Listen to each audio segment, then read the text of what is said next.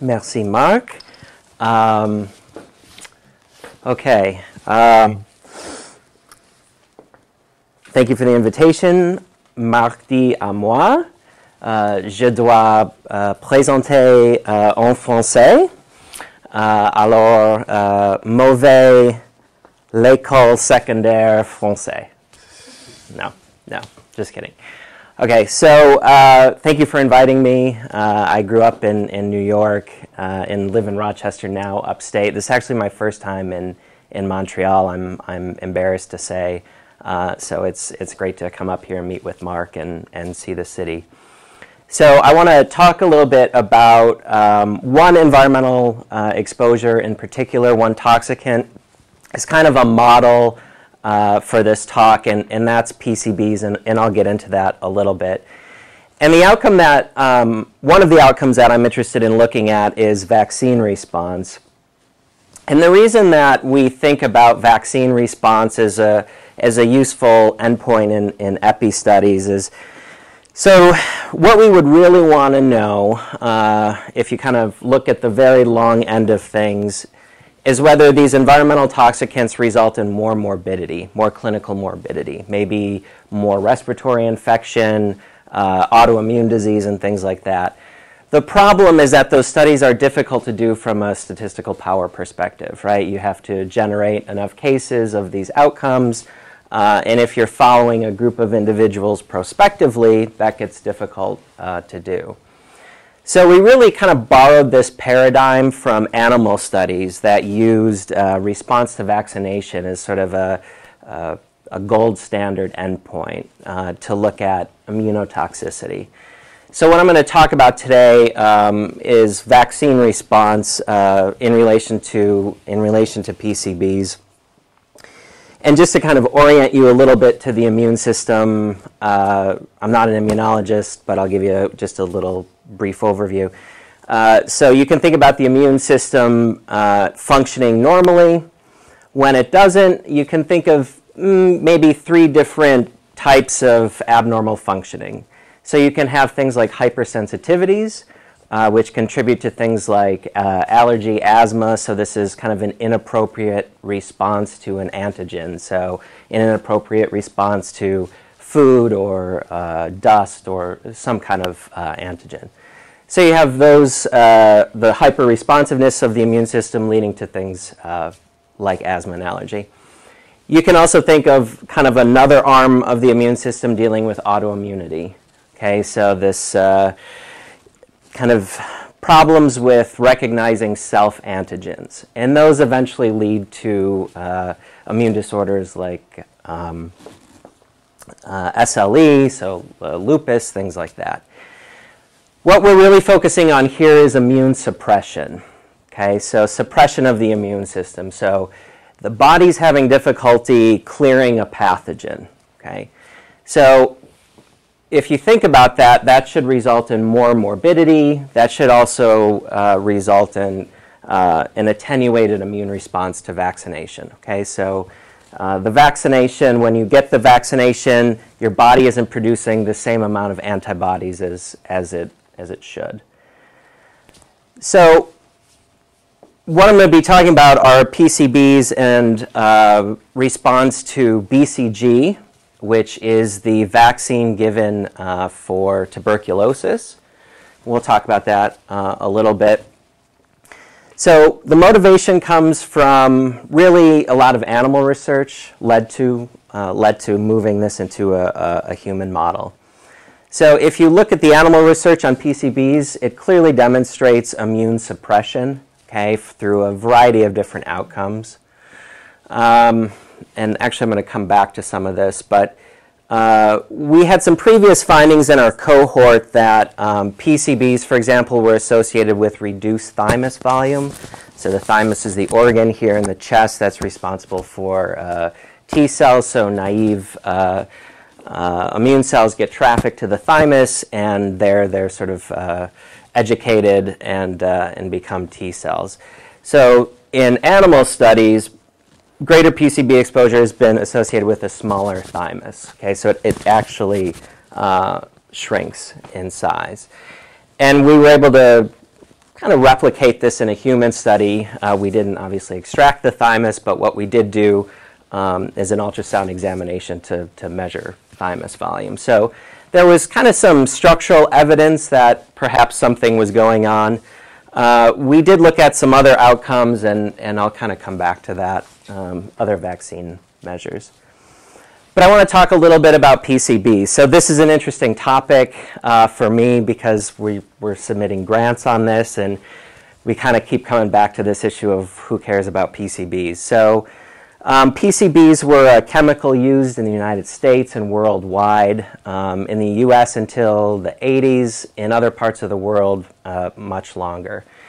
They're very persistent. I know some of you take uh, courses with uh, Dr. Verner, and he's, he's probably mentioned these. Uh, it falls into the persistent organic pollutant category. So things like DDT, uh, PCBs, perfluorinated compounds, which are the, the Scotchgard and, and Teflon products, those type of items, they tend to stick around for a while.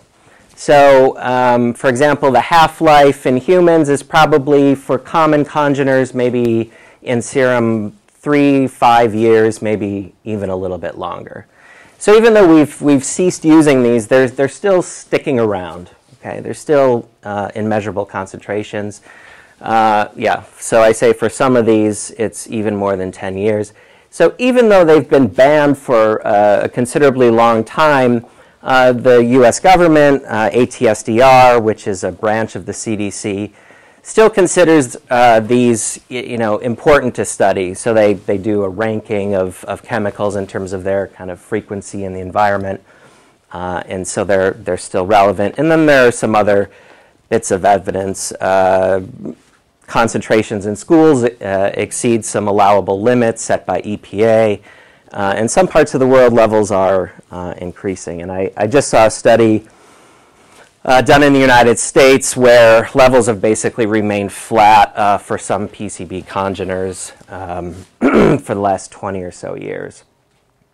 So I'll just give you a, a quick uh, chemistry lesson here. So how many of you have heard of dioxin? Marc, really? Can't believe it. Okay, so uh, usually when people say dioxin, they're referring to this, this 2378 TCDD. And uh, some of you may be familiar with this. This was an additive or a part of Agent Orange, which uh, the US government used in Vietnam as a, as a defoliant. Uh, so they would spray in the, in the jungle to, uh, to get rid of the leaves and, and trees to make it easier for America to. No, anyway, okay, I won't go there. Uh, so this is a, a, known carcinogen, TCDD, with very clear uh, immune effects. Okay, and part of the concern about PCBs, besides their persistence, is their chemical, uh, their structural similarity uh, to dioxin. Okay, and you can. There are what 208 or 209 congeners. I always forget. I think it's 209 different PCB congeners. So they're, they're labeled and uh, they're numbered, I should say. And it's based on their chemistry, okay? So you can have chlorine substitutions at, at different uh, hydrogens, okay?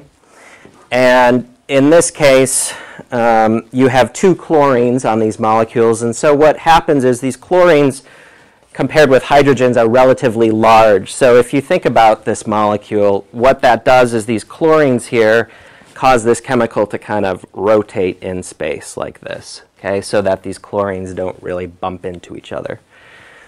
The absence of that, um, you have uh, a pretty flat molecule. This looks a lot like TCDD. Okay, so we call these PCBs dioxin-like PCBs. You may have heard this nomenclature before, and this is the, the reason. Their structural similarity looks, looks pretty close. So this is the, the compound that we're, we're, uh, we're discussing today. And I did some cute animations, which I'm going to ignore. So one of the outcomes that we've looked at is response to BCG. So I mentioned that BCG is the vaccine that we that we give uh, to prevent tuberculosis. Mostly in the world, uh, it's used to prevent uh, kind of childhood, childhood tuberculosis, less so adult uh, tuberculosis.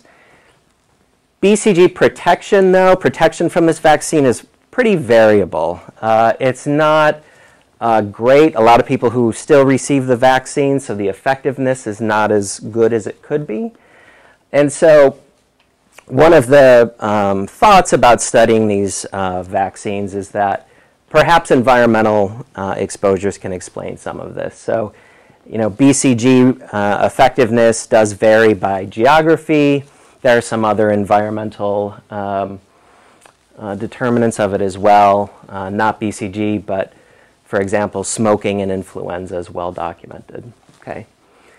So uh, we're going to ignore this. This is a little bit in the weeds, but TB is still a major global public health issue. Okay, so if you look at these disability-adjusted life years, it's the 13th leading cause of all disability-adjusted life years in the world. Okay, so that's pretty substantial. So uh, about 2% of all disability-adjusted uh, life years. Okay, so the study I'm going to talk to you about uh, is in the Slovak Republic. And uh, TB incidence is the highest in the eastern part of the country, and it's actually where we uh, did our study where environmental contamination is highest. And this is sort of a, an ecological statement, but it's uh, nevertheless kind of curious. Um, also talk about the Roma. This is the kind of gypsy population uh, in Europe, and they account for most of the new cases of, of TB. Um, and we have about 20% of our, our sample um, are Roma families. But they account for less than 2% of the population. So uh, they're, they're very overrepresented in terms of uh, disease burden.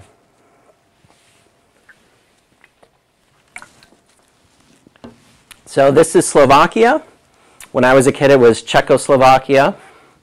Okay, so it's sandwiched between Poland and Hungary. It's a landlocked state. Uh, population is about 5 million people. They speak Slovak, which sounds a lot like Czech, uh, a little bit different.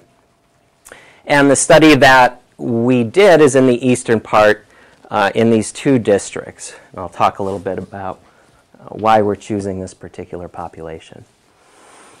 So Slovakia was under communistic control uh, until the late 80s, early 90s. As a result, there was not great uh, environmental standards. Um, and in the eastern part of the country, they produced a lot of PCBs. So, does anybody know why, what PCBs are used for, were used for? Commercially? No?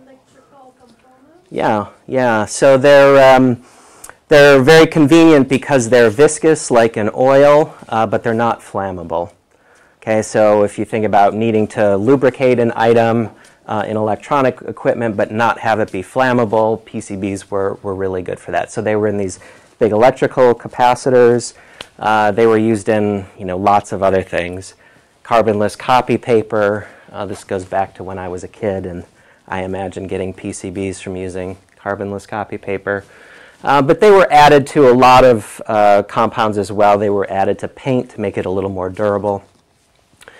So in the eastern part of Slovakia, they had a manufacturing facility for these.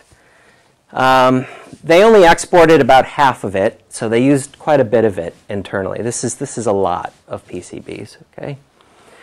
And some previous studies have documented that there are higher PCB concentrations in Slovakia compared with the rest of the EU. And concentrations in this eastern part uh, are about three times greater than the rest of, of the Slovak Republic. So this is a, a photo um, of the former manufacturing facility. They've repurposed it. Uh, it has that sort of Soviet look to it. Um, it's something about like your future partner, and I, I, I can't remember what this said, but uh, they're not producing PCBs there anymore. Uh, but it, it, sort of gives you a flavor uh, of the facility. So the facility is located uh, in the upper left-hand corner here. And you can maybe see that there's a river. It's not a big river, but there is a river that flows from north to south.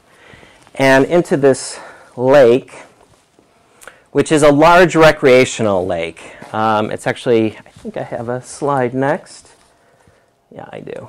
Uh, so it's a large recreational lake. And the town that we, rec- uh, we recruited some participants from for the high exposed group was this uh. Okay, so not a large city by any means. But because of the kind of dynamics of this, uh, a lot of the effluent from the waste from the facility came down the river into the sediments. And if you look at, uh, and it has been done, if you measure sediments in here for PCBs, they're extremely high. Okay. The exposure route is kind of, there's a bit of contention about how people exactly are exposed to these. Usually we think about diet. These are lipophilic compounds, so they hang out in fatty uh, substances, so meat, milk. Um, but there's also probably some airborne uh, exposure as well. Okay, so really, uh, these folks are kind of um, right in the heart of it. And we've done some GIS coding where you know we're able to plot everyone's residence, and there's a pretty clear gradient between uh, exposure level and proximity to the uh, facility. So the closer you are, the higher the exposure. So this is the lake I was talking about here at the at the end. It's Zemplinska Sirava. They call it uh, like the Slovak Sea. Uh, it's a landlocked country, so you know there's not a lot of water to go around uh, for recreation. So uh, it's it's kind of like I hate to say this, but Disneyland for Slovaks. A lot of people go here in the summer and vacation here. Uh, so and a lot of people fish um, out of this uh, body of water as well. So I'm telling you that these PCB concentrations are higher, but how much higher? So this is a figure modified from uh, a mentor of mine. And it's looking at PCB 153, which is kind of a, an indicator PCB. It's usually the most uh, prevalent PCB in humans. And so these studies are arranged from top to bottom in terms of the oldest studies. Okay, so the 11 city study in the US. Uh, this is the, so that's the collaborative perinatal project, and then the CHDS, uh, North Carolina, Michigan. And then we have some European studies here. And the time gets more and more contemporary. So what would you expect? I mean, if, if this compound is, is being phased out, what would you generally expect to see here? Yeah, you'd, you'd expect to see these shifting to the left, and they, and they generally do, you can see. These uh, last two, though, uh, we have this uh, population uh, Marc and I were just talking about in northern Quebec uh, who eat um, what are they eating? Uh, sea mammals, I guess, right? Yeah. So, eating a lot of lipids where these PCBs are bound. Okay, so still higher concentrations. In the Faroe Islands, they eat whale meat, whale blubber, and so they're, they're pretty high exposed. So here we are in Slovakia. The median is about 150 nanograms per gram serum lipid. So we have this denominator here because uh, they're uh, dissolved in lipid essentially, so it's a way to standardize the measurement. So concentrations in Slovakia today are about where they were in the US in the 50s and 60s when we were still using these compounds.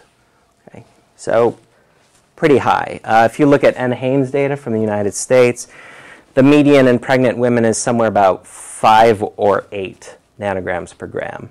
So in our population at that time, in our population is about 150. Okay, so uh, the other thing I'll point out is there's a pretty good range uh, variability in terms of our exposure, which if you're doing an epidemiologic study, you know, allows more statistical power if you have this uh, range in your exposure. Okay, so the, the boring epidemiology, and I'm an epidemiologist, so so we recruited uh, pregnant women between 02 and 04 at the time they came to the hospital to deliver.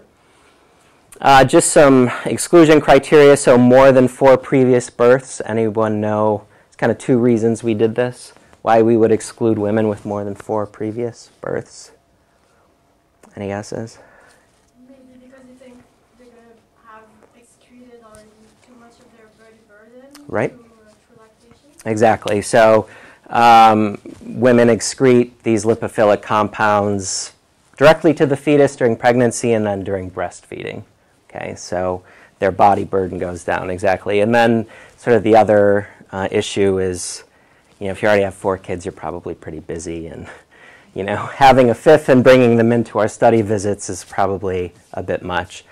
Um, and again, fewer than five years in their district, we, we wanted to ensure that they were kind of, you know, loaded up. Um, we had about 1,100 women, okay? So fairly large, fairly large study. So um, we collected blood from the mother, cord blood, collected lots of information about her pregnancy, and then at six months, which is the follow-up I'm going to be talking about, um, we had about 86% still participating, and we collected blood from the infant in order to do the antibody measurement. Okay, so in Slovakia, BCG, the vaccine is given uh, to the infant at birth, and uh, it's very convenient because moms have a mandatory, I believe it's five-day stay in the hospital. So it's a good time to kind of recruit subjects, to have them fill out forms. Uh, it's not like in the U.S. where you know you come in, and you know right out the door. In fact, we were talking about maternity leave today, and uh, we get six weeks of maternity leave, and he was telling me you all get 50 or something, so it's nice. Um, so the BCG vaccine is given at birth, and then we're collecting blood at, at six months from the infant. I'll present some data um, on PBPK models. So um, Marc was involved in this before he and I uh, kind of got connected.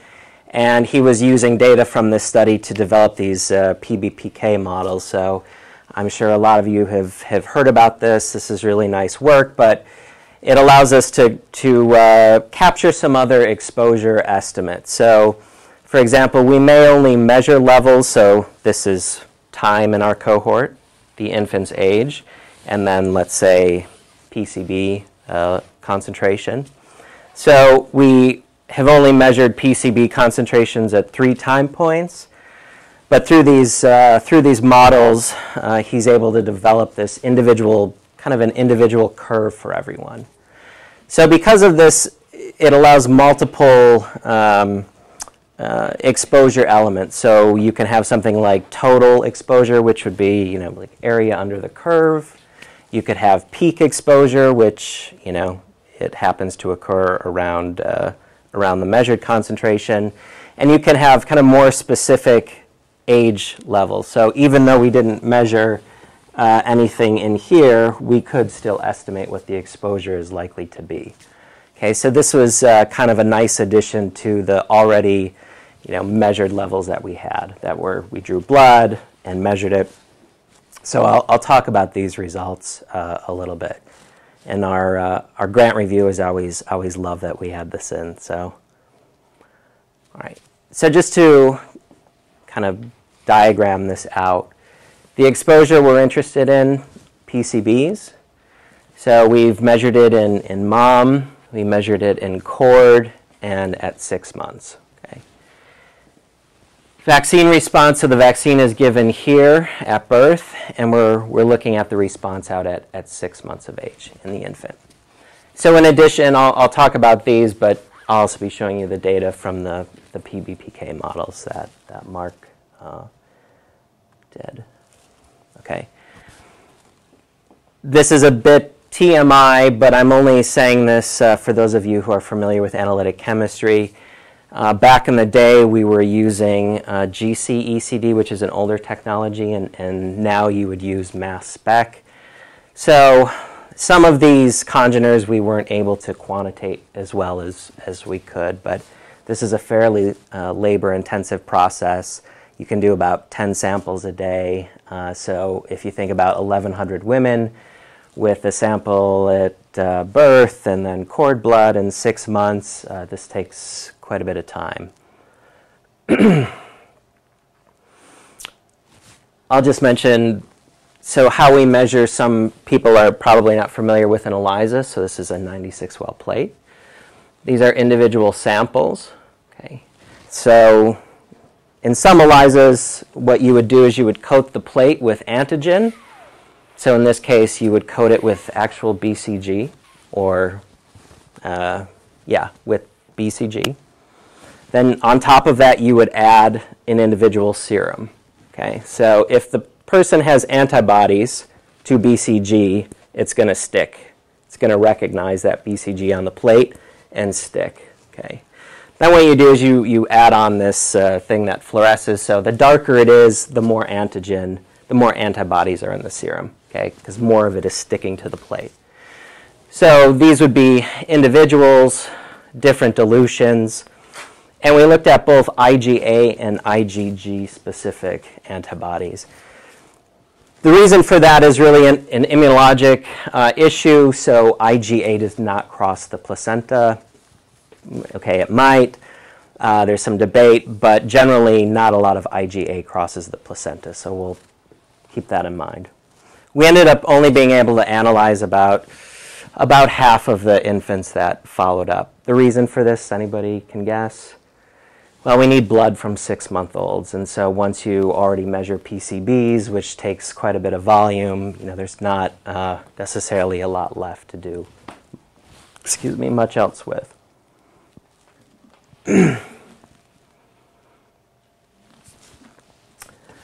um, for the epidemiologically inclined, you know, we selected uh, confounders based on directed acyclic graphs, so DAGs. Some of you may be learning about this if you're EPI students. Um, what we ended up adjusting for was pretty similar uh, ethnicity, so Slovak or Roma, maternal age, education, parity, and, and smoking. So the results that I'll present are all, are all adjusted. Okay. So is your typical table one results here. And uh, not too much of this is particularly uh, interesting, but there are a few things I want to highlight. So only 4% of women reported no breastfeeding, so they're a, they're a pretty heavy population when it comes to, uh, to breastfeeding, and about 20% were the, the Roma minority. Uh, quite a bit higher than what you would expect, at least in the, in the US. 28% of women reported smoking during pregnancy. Um, I'm assuming it's a lot lower here uh, than 28%. And most of our women were between uh, 20 and 30. So pretty typical in terms of, you know, pregnant women, uh, but, you know, definitely more smoking and, and definitely breastfeeders. Okay, so just again, this is just showing by comparison. Uh, I'm going to skip this slide. It's a little dense. So here are the results from the measured concentration. So I'm going to walk you through this slide. There's a lot here. So we had three different exposures, maternal PCB 153, cord PCB 153, and six month in the infant, okay? And the outcome here is six month BCG. So you can think about this, these results as sort of a cross-sectional analysis between the six month PCB and the six month BCG. This is mom and this is cord. I'm showing results for two congeners. One I said was non-dioxin-like, one which is dioxin-like. And we did this just to compare to see whether results were different. And they, they really weren't too different between the, the two congeners. Uh, and on the y-axis, what I'm showing you here is the difference in antibody response between the 25th and the 75th percentile of each of these exposure levels. So if we just go and interpret, say, what a terrible one to pick, but we'll pick the first one. so um, there was basically no difference between the 25th and the 75th percentile of maternal PCB 153 okay, for IgG specific BCG. This would be for IgA specific, etc. So essentially the pattern of results that you see here is that this is where the action seems to be, this cross-sectional analysis. The concentrations in the infant at six months are what really predict vaccine response, not mom and not cord, but really six months. The other thing to note from this, the effect sizes are really large. Okay, so this is a percent difference, so it's almost 35%. So if you compare kids uh, at the 75th percentile to the 25th percentile in terms of their exposure, their BCG response is about 35% lower, 35% less antibody. Okay, so it's, it's pretty substantial. How am I doing on time? Oh, okay. Look at that. Okay. Uh, so that's one thing to note. Any epidemiology students in here? No? Biostat? Okay. No? All right. The confidence limits are also pretty narrow here. Okay, they're, they're pretty narrow. So it, it suggests that you know, this is not due, not due to chance. More interesting results. So I mentioned the PBPK modeling that, that Marc did. So remember we just had mom, cord, and six month. But with the PBPK model, we were able to, Marc was able to estimate uh, month-specific concentrations, also an AUC, so an area under that individual's PCB curve, and also their peak concentration.